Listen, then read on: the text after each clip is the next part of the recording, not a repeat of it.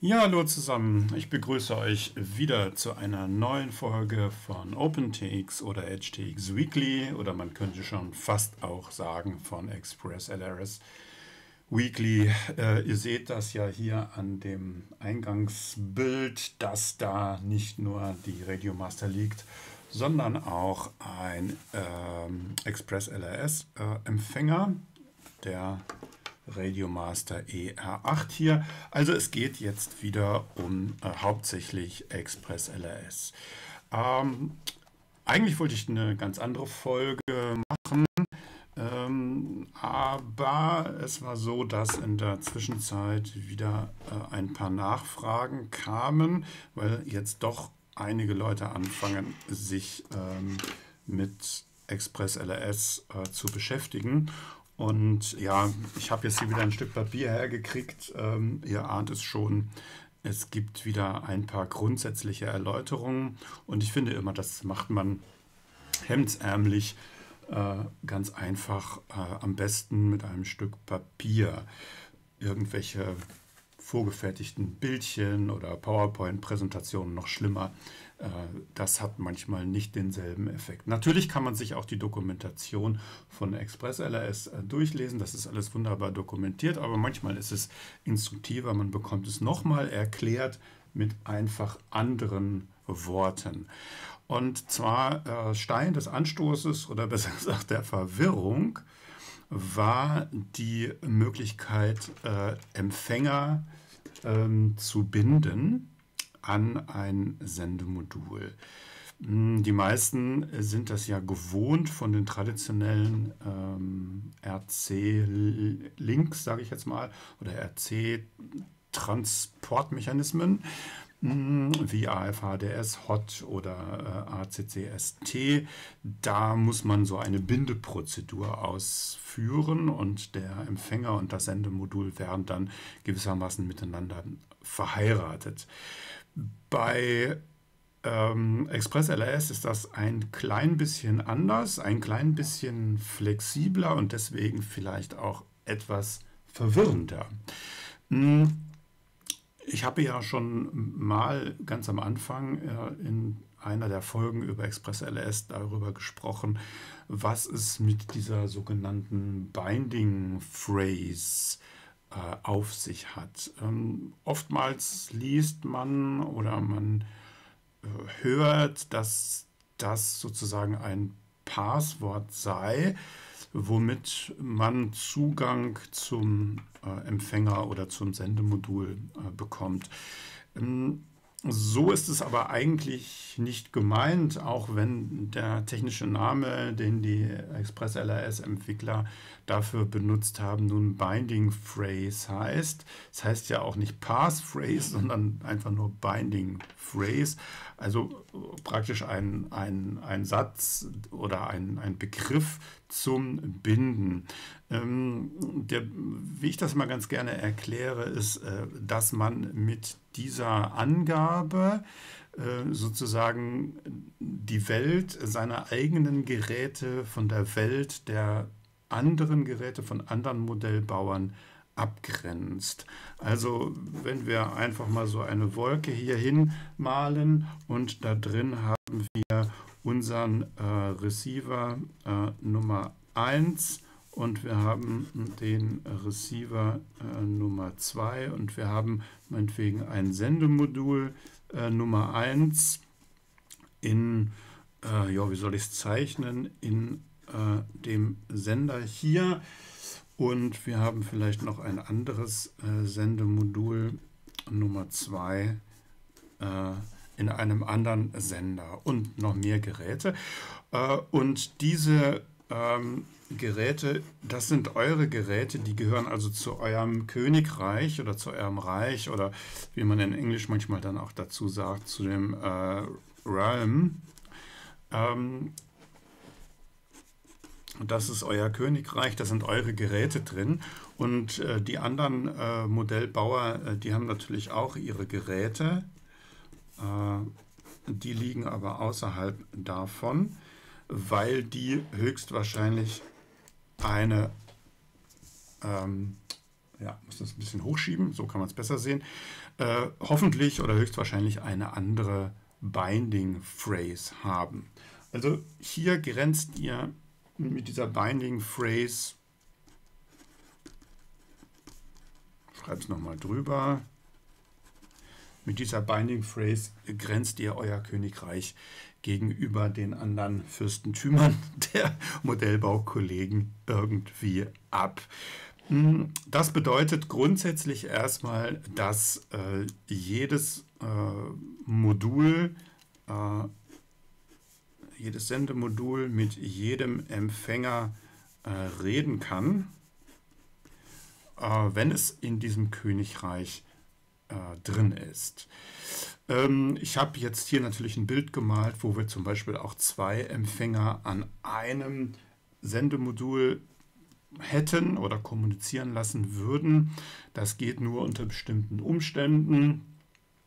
Äh, da mache ich auch noch mal eine Folge dazu, wie bindet man mehrere Empfänger an ein Sendemodul. Das ist aber heute nicht unser Thema, sondern äh, unser Thema heute ist ähm, die, der zweite Begriff, der bei dem Binden immer so umhergeistert und das ist Model Match.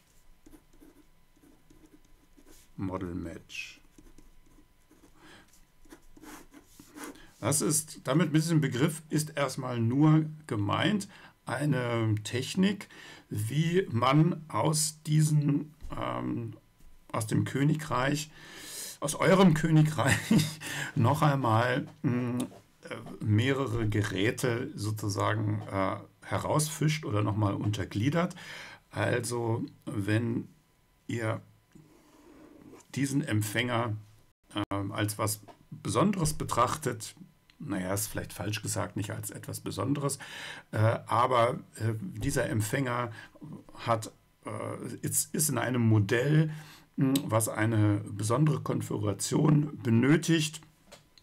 Also nehmen wir mal das Beispiel, der andere Empfänger ist in einer Drohne und dies ist ein, in einem Flächenmodell. Dann kann man sich natürlich vorstellen, dass diese beiden Empfänger äh, so erstmal nicht austauschbar sind, weil an ihren Ausgängen grundsätzlich unterschiedliche Servos mit unterschiedlichen Funktionen hm, angeschlossen sind. Also was man haben möchte, ist, dass man diese Empfänger sozusagen noch unterscheidbar macht, sodass da keine Missgeschicke passieren.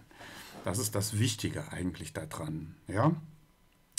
Okay, und deswegen kann man diesen Empfängern eine Nummer, einen Identifikator, eine ID geben.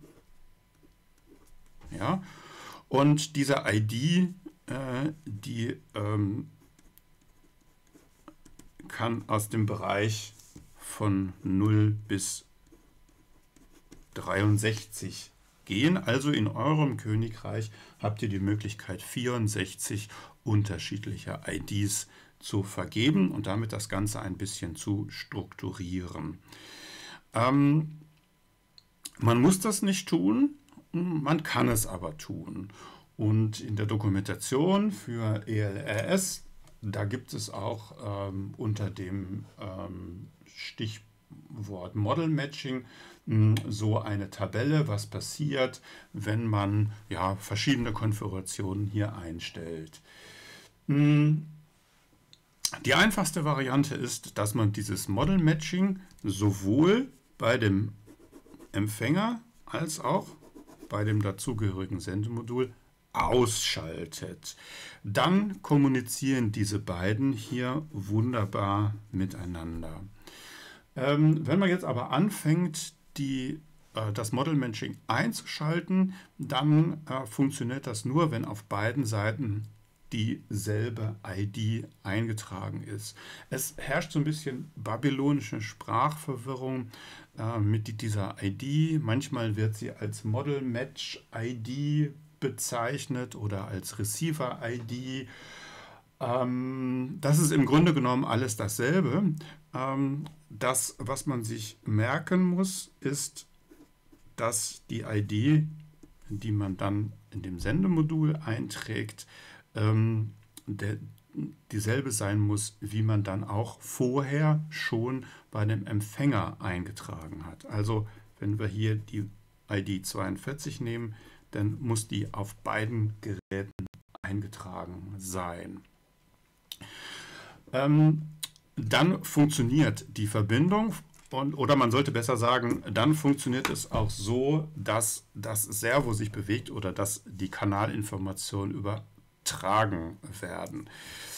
Ähm, also es gibt sozusagen den voll verbundenen Zustand, wenn hier beides mal dieselbe ID eingetragen ist und beide Geräte sich in demselben Reich befinden voll verbunden und es gibt den gar nicht verbundenen Zustand. Das ist immer dann der Fall, wenn das eine Gerät sich hier befindet, in dem Königreich, und das andere Gerät sich hier unten in dem anderen Königreich befindet, dann ist es gar nicht verbunden.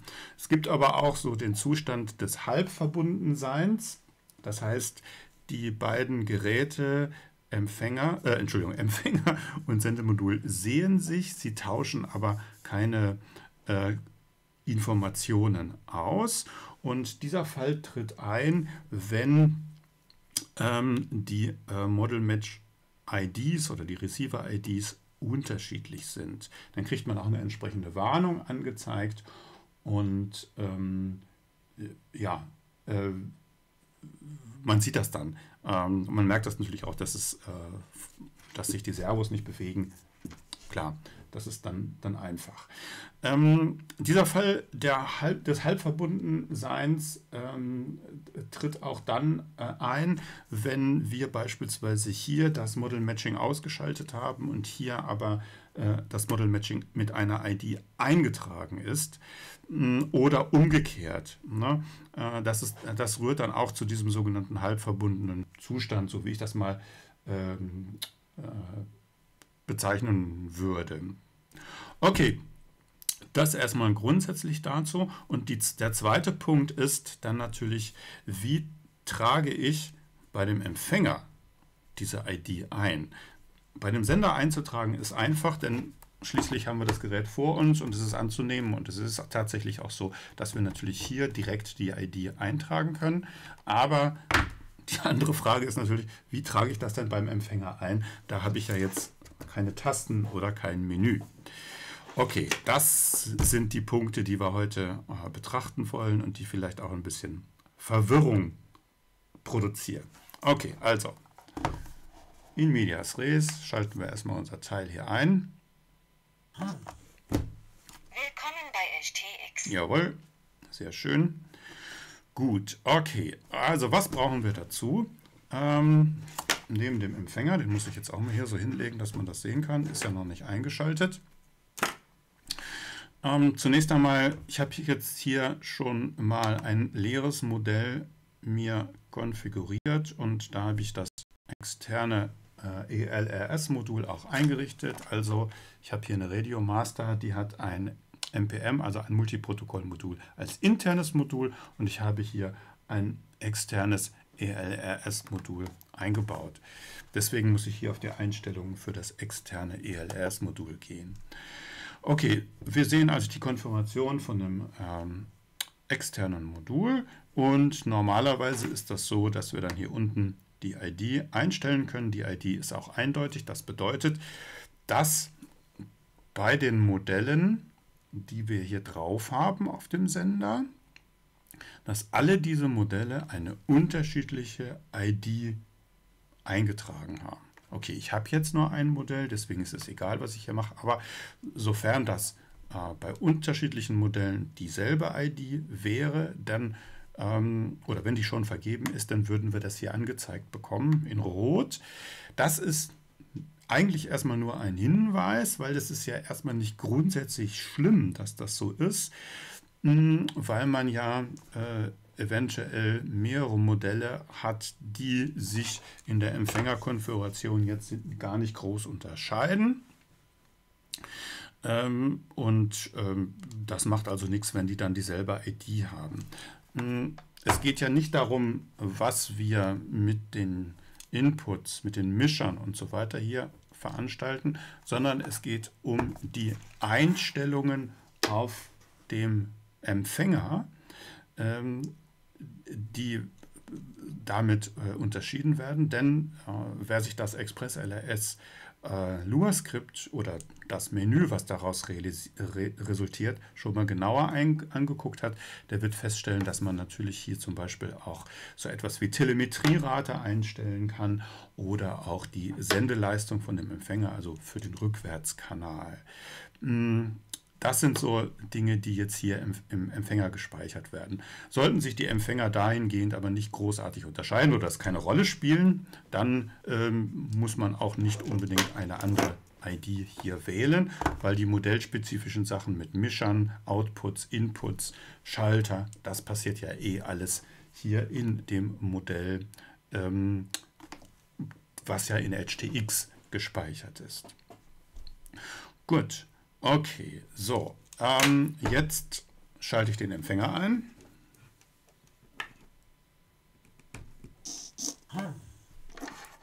Das ging jetzt relativ schnell. Ist nicht immer so, dass die Verbindung dann sofort da ist. Aber wir sehen, Servo bewegt sich, Verbindung ist da.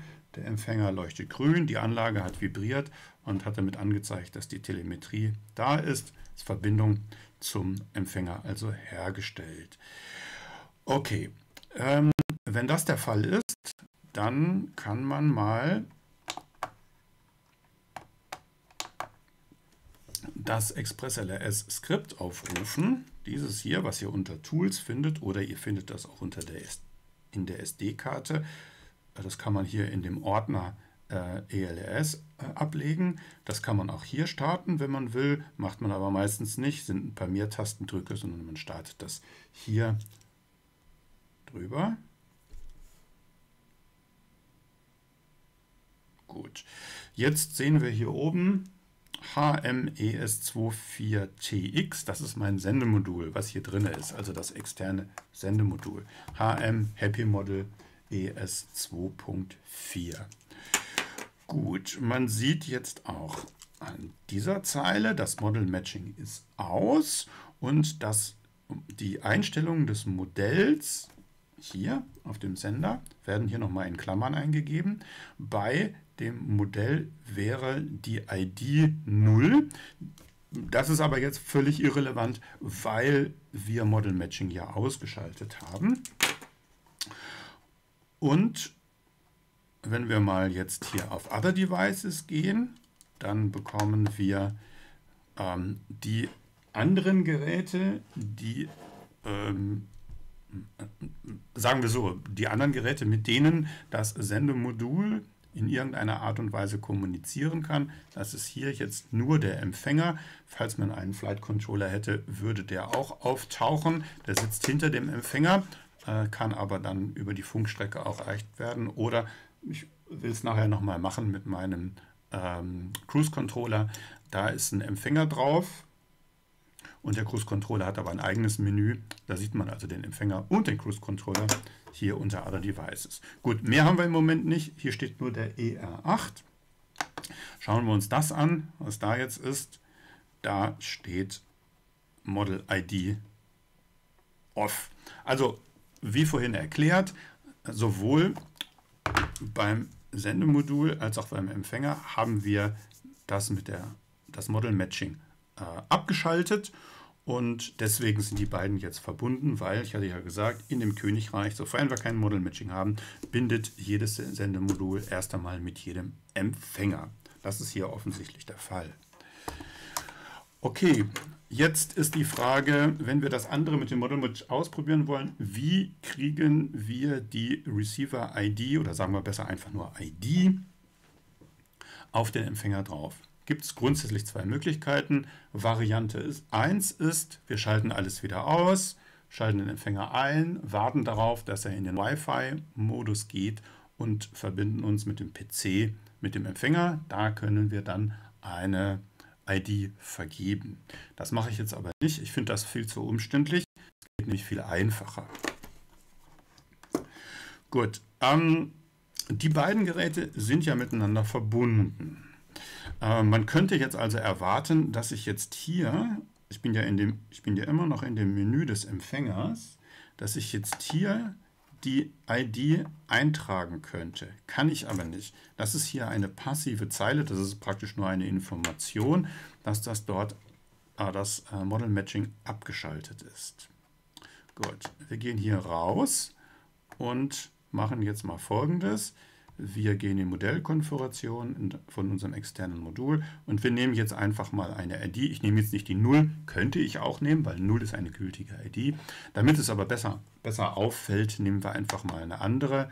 Äh, ich gehe hier einfach mal auf die, äh, was können wir uns gut merken? Ich nehme mal die 10. Gut, das ist eindeutig, perfekt. Ähm, muss das selber wieder hinstellen. Ich habe die ID jetzt hier geändert. Trotzdem geht es noch. Ähm, das liegt ganz einfach daran, dass ich zwar die ID hier eingestellt habe, aber das Model Match grundsätzlich ist noch ausgeschaltet. Deswegen wird das, diese ID auch gar nicht berücksichtigt in dem Moment. Gut, jetzt kommt so ein kleiner Trick, ähm, der aber ganz nett ist äh, für die Bedienung. Und zwar war ja eben die Frage, wie kriege ich diese ID10 jetzt hier auf den Empfänger drauf? Das geht eigentlich ganz einfach. Wir gehen nochmal unter System und starten nochmal das Express LRS Skript. Und jetzt steht hier das Model Match immer noch auf Off, klar, aber die ID 10, die wir uns eben ausgesucht haben bei dem Modell, äh, wird hier angezeigt. Und wenn ich jetzt das Model Matching einschalte, hier kann ich das nämlich bei dem Sendemodul, das ist also hier aktiv. Dann passiert folgendes. Das Model Matching wird sowohl für den Sender, für das Sendemodul eingeschaltet, als auch dann für das, Empfang, für das Empfangsgerät eingeschaltet und die ID wird also auch auf den Empfänger übertragen. Also im Grunde genommen zwei Sachen mit einem, äh, zwei Fliegen mit einer Klappe, wollte ich sagen. Einschalten des Model Matching und gleichzeitig Konfiguration des Empfängers. Muss man also wissen, wenn wir in dem gebundenen Zustand sind und wenn ich dann hier etwas ändere, dann wird diese ID auch gleich auf den Empfänger übertragen und das Model Match wird eingeschaltet.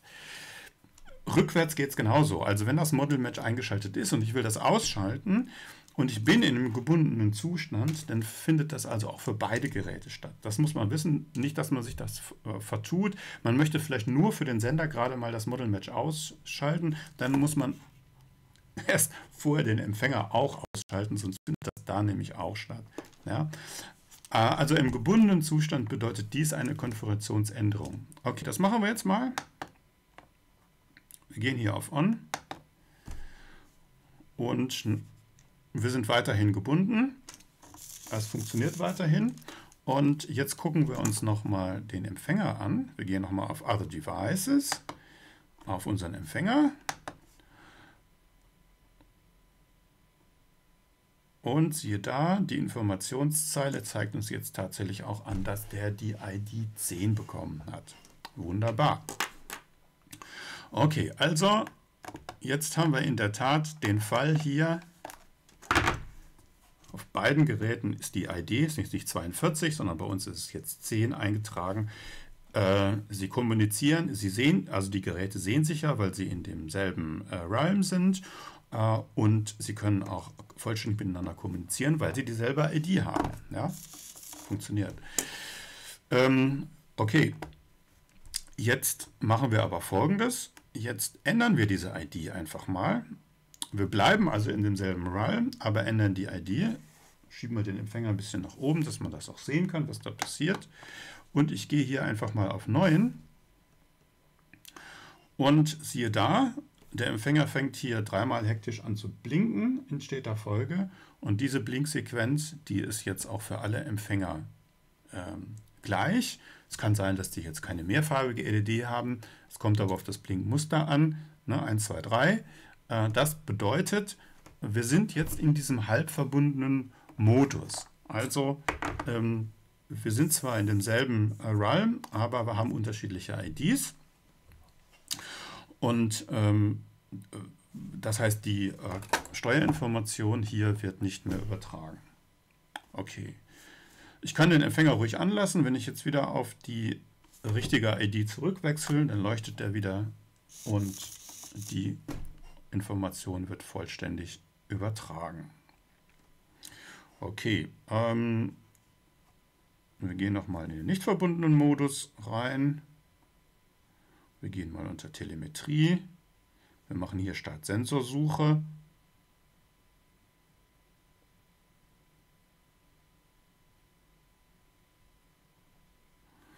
Und siehe da, die Telemetrie kommt durch, weil die sich sehen. Also die Telemetrie oder der Übertragungsweg der Telemetrie ist natürlich der gleiche wie der Übertragungsweg für das äh, Menü, was wir da vorhin gesehen haben. Ähm, ich gehe nochmal auf... Äh Nein, das bin ich falsch. Äh, sorry. Äh, Senderkonfiguration Express LS. So, und äh, jetzt stellen wir also fest hier, dass er uns hier oben diese Warnung anzeigt, Model Mismatch. Ja, und wir sehen also hier, dass wir die ID 9 haben in unserem Modell auf dem Sender. Und wenn wir hier reinschauen, dort sieht man die ID 10 im Empfänger eingetragen. Ja?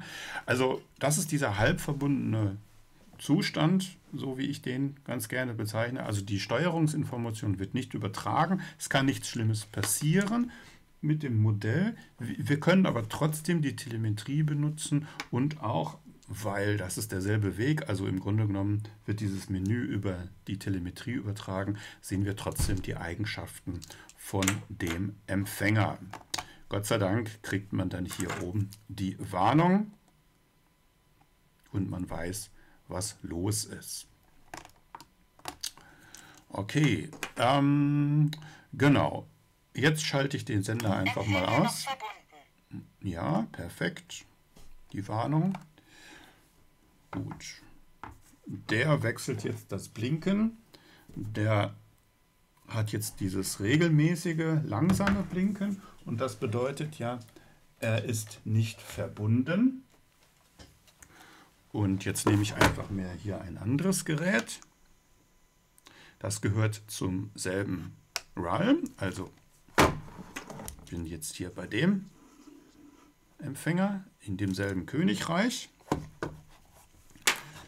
Und jetzt habt ihr vielleicht gerade gemerkt, das Blinkmuster hat sich geändert. Also die beiden sehen sich schon. Die sind jetzt füreinander in diesen halb verbundenen Zustand.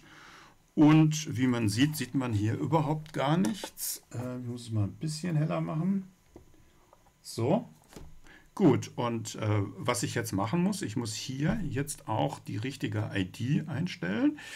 Ähm, das war Nummer 10, glaube ich. Ne? Gut, dann gehen wir da mal hin.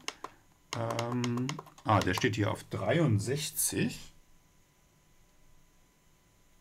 So, das ist natürlich äh, jetzt Mist, weil das nicht zirkulär geht.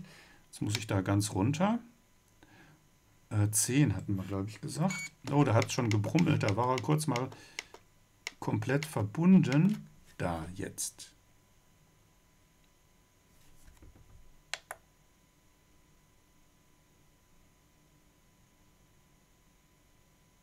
Hatte der nicht 10? Jetzt bin ich gerade ein bisschen verwirrt. Ah, okay. Ähm, ja, das ist auch alles korrekt, was er hier macht. Äh, Sender wechseln bedeutet ein Ausschalten des Empfängers, sofern man das bei der Grundkonfiguration des Empfängers nicht anders angegeben hat. Das ist etwas, ähm, äh, was man tatsächlich nur über die Wi-Fi-Verbindung ändern kann. Und das ist ein Feature, was dort als Log-on First Connection äh, bezeichnet wird. Also die erste Verbindung, also sprich die Verbindung zum, zum ersten Sender, die hat er sich gemerkt und verweigert jetzt, obwohl wir dieselbe Empfänger-ID haben, ähm, die Verbindung zu diesem anderen Sender. Das können wir aber schnell reparieren, indem wir jetzt die Stromversorgung einfach mal trennen. Habe ich jetzt gerade gemacht und Stromversorgung wieder geben.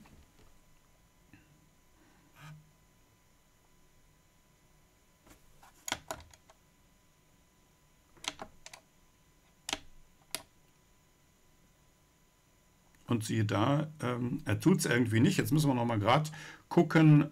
Hm, es war doch 10. Ach, das Model Matching ist noch aus.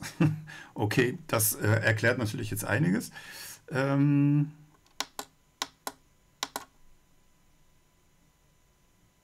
die ID 10, äh, wenn ich das jetzt hier wieder ändern würde, würde die, ID10, die ID 10 jetzt hier überschrieben mit der ID 10.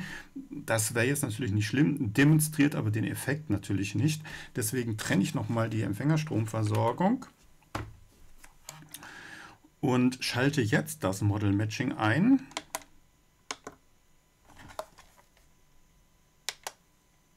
Jetzt ist es an. Okay. Und jetzt schalte ich nochmal den Empfänger ein.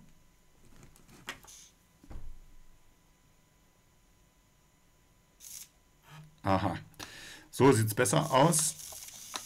Jetzt ist er also auch tatsächlich verbunden. Okay, also Live-Demo ist immer am besten.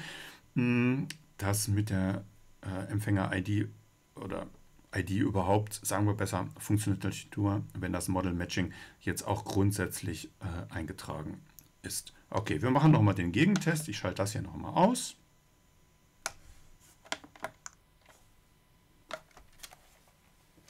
So, kommen wir an die Seite. Okay, er blinkt jetzt langsam, nicht verbundener Zustand. Ich schalte den jetzt hier ein. Bei diesem Log-on First, bei diesem Log-on First Connection bin ich in der Tat nicht sicher, ob ich das überhaupt konfiguriert habe in dem Empfänger, aber das sehen wir jetzt. Ich kontrolliere das nochmal gerade mit dem, Model Matching, nicht, dass mir der gleiche Fehler jetzt hier nochmal passiert. Nein, hier habe ich einen neuen eingetragen. Okay. Gehen wir dann nochmal raus. Äh, 9.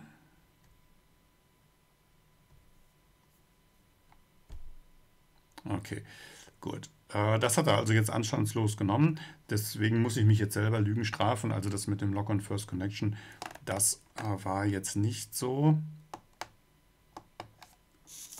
Man kann also einfach den Sender on the fly wechseln, sofern man, wie jetzt gerade hier gesehen, die richtige Modell-ID dann auch eingibt. Okay. Okay, jetzt äh, habe ich viel geredet. Ich hoffe, ich habe nicht mehr Verwirrung gestiftet, als schon bestand. Am besten, man probiert das auch einfach mal aus. Viel kaputt machen kann man ja nicht. Hm, sofern man das so auf dem Schreibtisch macht, wie ich hier, geht ja nicht besonders viel schief. Gut, sollte es weiter Fragen gibt, scheut euch nicht, wie gehabt, einfach mich anzuschreiben, die Fragen zu stellen und wenn es sich lohnt, mache ich dann natürlich auch gerne noch ein Video dazu. Okay, danke fürs Zuschauen und bis zum nächsten Mal.